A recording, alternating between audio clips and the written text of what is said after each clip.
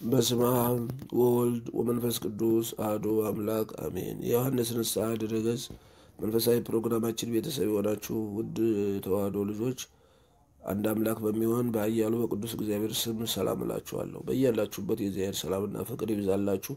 እንደ ቸርነቱና እንደ ምሕረቱ ብዛት የሰላም ሌሊት አሳድሮ ለዚህ ለተቀደሰው መንፈሳዊ ፕሮግራማችን ያደረሰን አምላክ ስሙ ይክበር ይመስገን። ምስጢሩን ጥበቡን ለሁላችንም ይግለጽልን፣ ማስተዋሉን ያድለን።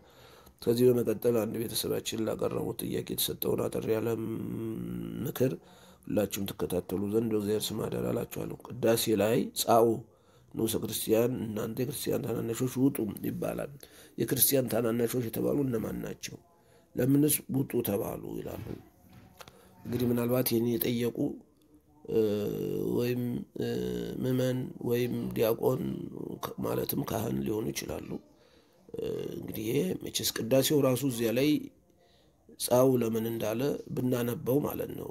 ማብራሪያ ሊቃውንቱ ምን ማለት እንደሆነ ነግረውናል። በስርዓተ ቤተ ክርስቲያንም ጻው ላይ ወይም ደግሞ ጻው የሚባለው የቅዳሴ ክፍል ላይ ስንደርስ የሚያስቀድሱ የክርስቲያን ታናናሾች የተባሉ እነማን ናቸውና የሚወጡ የሚለውን ነገር ብንጠይቅ በደንብ እናውቃለን። ይህን ነው ማወቅ አለብን።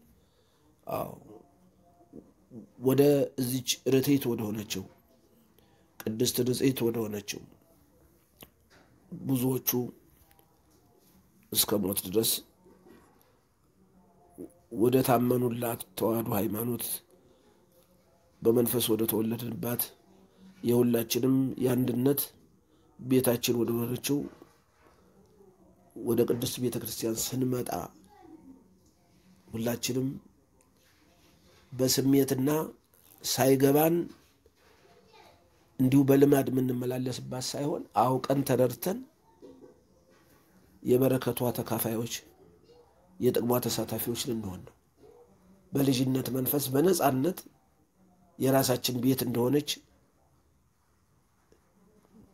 እግዚአብሔር ጸጋ እየተጨመረልን የምንኖርባት ነው። ስለዚህ እንግዲህ ወደዚች ቤተ ክርስቲያንና ወደዚች ርቲት ወደነችው ሃይማኖት የሚመጣ ሰው።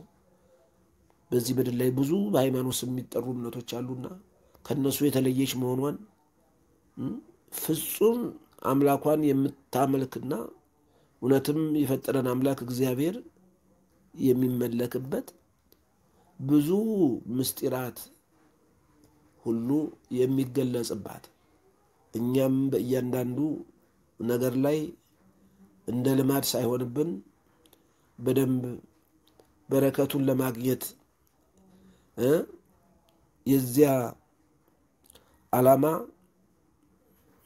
አካል ለመሆን ማወቅን መረዳትን ያስፈልጋል። እና ምንድን ነው ከጊዜ በኋላ በአርባ ቀን በሰማንያ ቀን ሳይሆን አዋቂ ከሆኑ በኋላ ተምረው አምነው ተጠምቀው ለሚመጡ ሰዎች ለእነሱ ንዑሰ ክርስቲያን ሆነው የሚቆዩበት ጊዜ ገደብ አለ።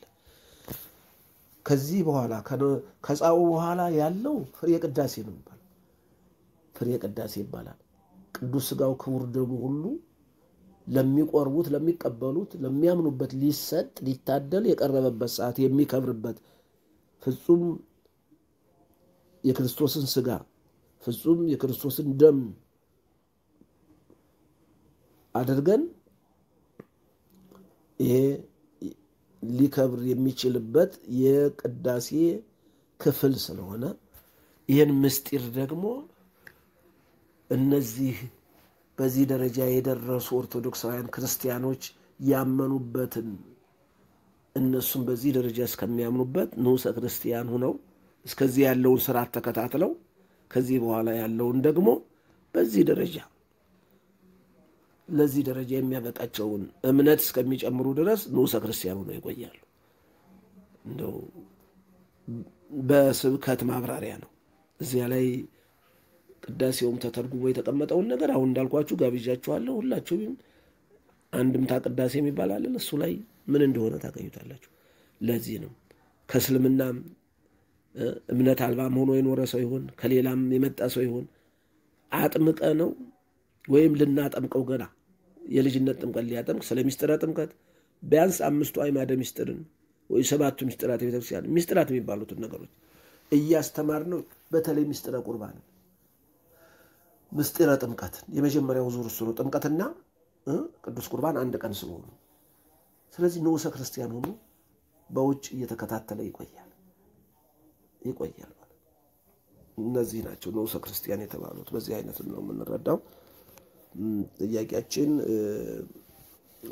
ከዚሁ ጋር አብሬ ለእርስዎ ማደራ ምለወት ሮብና ዓርብ ከምሽቱ ሁለት ሰዓት ተኩል ጀምሮ እስከ ሁለት ሶስት ሰዓት ተኩል ድረስ live ላይ ያለን ልዩ ፕሮግራም ሁላችሁም የምትታደሙበት በጣም እጅግ አስፈላጊ ጠቃሚ ነውና ራስዎትና ሌሎቹንም ወንድሞች እህቶች በመጋበዝ እንዲገኙ የአባትነት ጥሪያችንን አቅርበንልዎታል።